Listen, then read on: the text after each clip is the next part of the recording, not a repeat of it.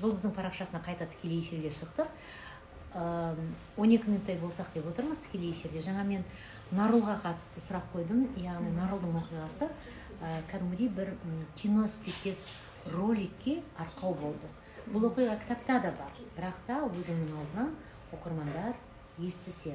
Бұл оқиға қалай болды? Жалпы сол кездегі сенің ә, бұл оқиғаны жеңудегі кімдер көмектесті кім қолдады? Қалай білдіңдер нарудың ауырып қалғанын мүлдем бұл туралы еш жерде айтпаймын жазбаймын деп негізі ойлаған ойлағанмын.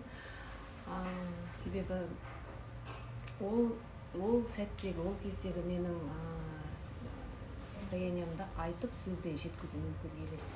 Оны тек қана бастан кешірген ана ғана білетін шығар сезетін шығар. Себебі ол кездегі менің жағдайым ол кездегі менің өмірге деген көзқарасым мүлдем өзгеріп кетті. Мүлдем.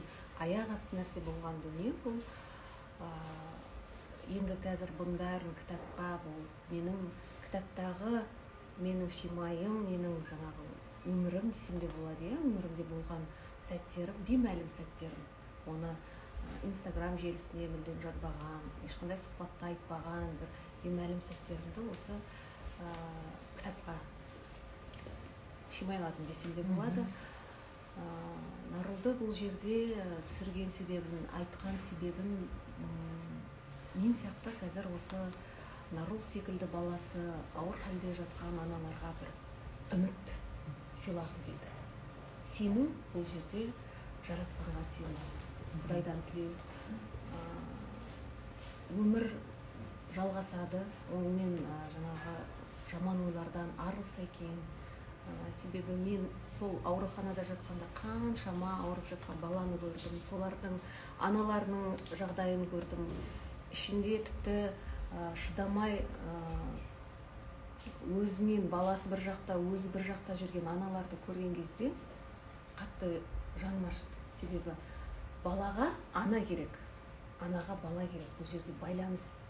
Сол байланысты аналар үзіп алмаса екен. Өзінің сенімімен өзінің жаңағы үмітімен тілеуімен құдайдан жаратқаннан үмітін үзбей тілей берсе екен. Ол тілек дегеннің өзі дұға тілектің өзі бір үзбейді. Ол сенім өз өзіне сенім балаға сенім жаңағы ауруханада жатқаннан кейін неше түрлі ойлар келген кезінде содан арылуға көмектеседі. Сондықтан бұл видеороликті біз ә, жаңағы қалай айтсам бұл кадрға видеороликтер любительский дейді ғой. Телефонға ұялы телефонға түсірдім. Ә, білем оны түсіріп жүріп мен үшін ауыр болған. Ол қайраттың қасымызда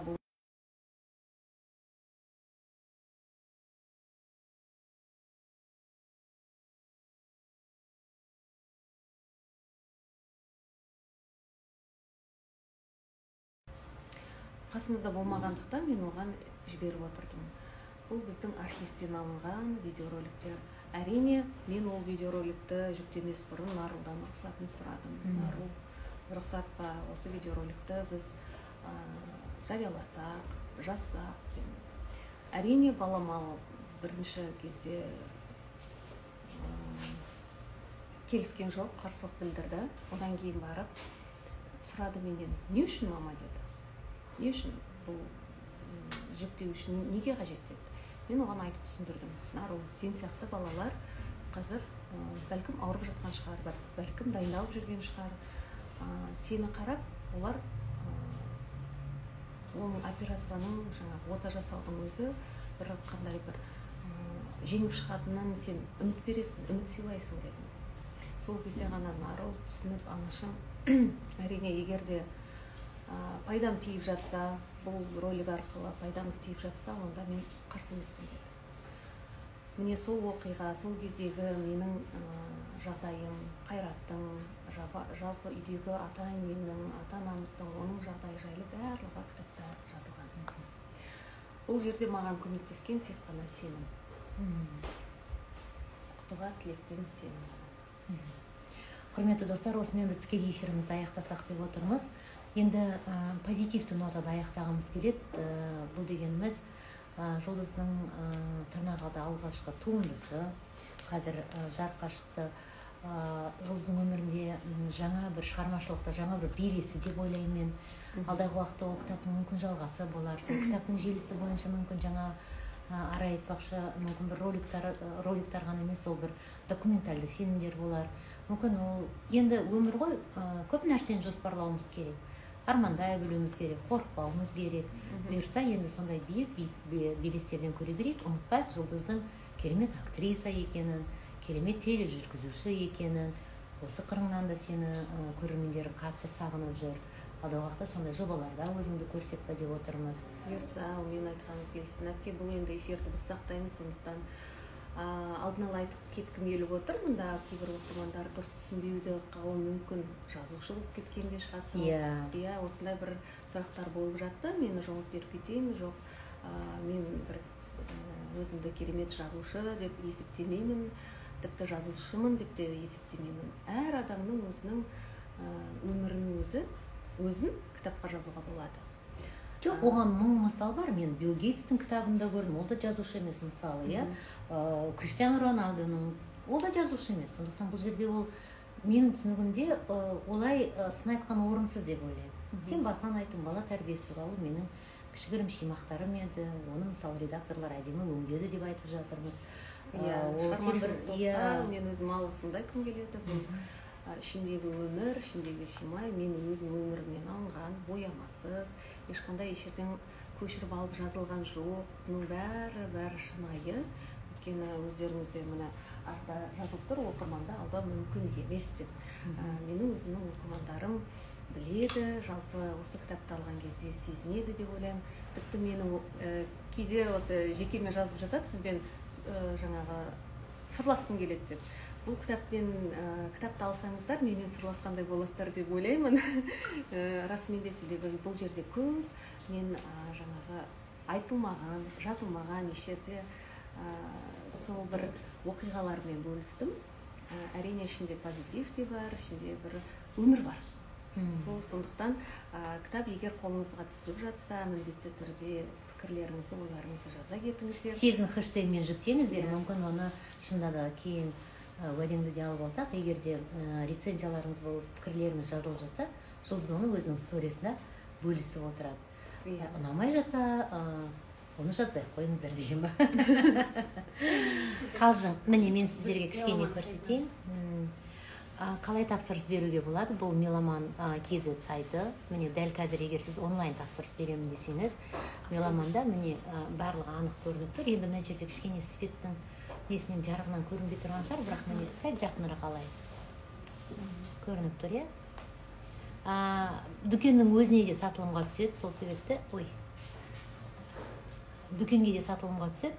Ә, уайымдамаңыздар міне бағасына дейін барлығын жазып қойған меломан. Қымбат деп ойламаймын. Сіз бұл ақшаға мүмкін білмеймін не сатып алуға болатын? Лимитированный версияны айтайық иә. Содан кейін айтпақшы тағы да бір қуанышты жаңалығымыз. Енді жаңа айттым ғой локдаунға байланысты карантинге байланысты. Жұлдыз көптеген қалаларға меломан үлкен қалаларда презентация өткізгісі келген болатын. Өкінішке орай біз ол презентацияны өткізе алмаймыз қазір. Ә, 200 кітапқа жұлдыздың өзінің қолтаңбасы қойылады және де сол 200 кітап ә, арнайы екі- 200 кітаптың мүмкін егерсіз боларсыз. Біздің танымал тұлғаларымызға да бұл кітап жетеді.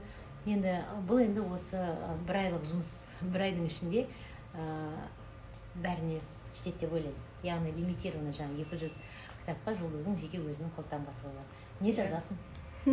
Ойланып қойдың ба? Кейде мысалы армандаған кезде баяғыда кішкентай кезде қол қоюды ә, үйренетін кез еді ғой. Кішкентай кезде қолыңды қалай қоясың? Солай армандап жатқан армандап жатқан жоқсың ба? Кітапқа осындай тілек жазамын деп. Маған негізі ә, дулат исабеков өзінің кітабын сыйға тартқан кезінде ә, енді шын айтамын сол кезде қатты қуандым. Мен негізі кітаптарды жақсы көремін ғой бірақ оның ішінде менің жазушым ол сүйікті иә сүйікті жазу. Жазушым. Ә, дулат исабеков өзінің қолтаңбасымен ә, жұлдызым ә, жұлдызың жарқырасын деп жазғанның өзі мен үшін бір қуаныш қуанышым шағыма сыймай ол қолтаңбасымен бірге демаламай тіпті үйге деген сол кітапты құшақтап келіп мамама жаңағы айтып жатырмын ғой міне мама маған кітап бер деп. Сол есімде қалып кетті. Енді міне бұйыртып енді алланың бұйрығы шығар енді иә өзім кітабым шығып жатыр қазір. Енді мен өзім қолтаңба қойған кезінде қандай тілек жазамын білесің бе бұл керемет сезім. Мен саған айтып жеткізе алмаймын ол сезім қандай екенін. Себебі екі кітаптың презентациясын өткізген кезде ол кезде локдаун ештеңе жоқ. Үлкен үлкен орталықтарда өткіздік. Адам көп адамның көңілі ә, жаңағы әр адамға бір ерекше тілек жазғың келеді енді саған ә, жеңілдеу болу керек. Екі жүз кітапты бір түнде жазып тастауың керек. Ә, сол себепті құрметті достар ортақ жазамын деген ниеттемін ол әрине қазір тікелей эфирде айтпайтын боламын ол құпия ол кітаптың ішінде болады. Иә. Құрметті оқырмандар рахмет. Осыншама уақыт тікелей байланыста бізді тамашалағандарыңызға рахмет. Ана мынау дұрыс емес жеріміз болса онда кешіріп қоярсыздар. Менің ойымша барлығы әдемі болды. Ең бастысы қазір ораза кезі. Шынында да жақсы сөйлейік. Қандай да бір алып қашпа әңгімеге сенбейік. Ә, жұлдызым ә, енді отбасында ә, жаңағы мен кейде байқап қаламын дегенмен менің ойымша ә, мен өзім көзіммен көрген дүниелерді айтып отырмын. Яғни қайратты да көрдім жақында. Жұлдыздың мысалы балалары әдемі отбасы төрт баласы бар. Қалай айранда үйіп тұрған отбасы сол себепті енді неше түрлі әңгімелерге мен мысалы өз басым сенбеймін сондықтан сіздерді де сенбеуге шақырамын. Иә дұрыс айтасыз әпке. Алып қашпа әңгімелерді ресми түрде өзімнің парақшама жарияламасам демек оның бәрі өсек аян сондықтан өздеріңізді алдамаңыздар. Тек қана жақсы ойда болыңыздар. Бәрі жақсы болсын. Сол енді тағы да құттықтаймыз жұлдыз туған күніңмен денің сау болсын. Осындай әдемі қалпында жүре бер. Ә, бір жеке сұрақ қойсам бола ма? Қойыңыз ана атанғың келе ме? Тағы да. Ә, адамның емес алланың деген болады ғой. Егер беріп жатса аламыз тастамаймыз. Ол классно иә? Күшті иә? Сол енді. ол да ол да мүмкін енді. Уақыттың еншісінде.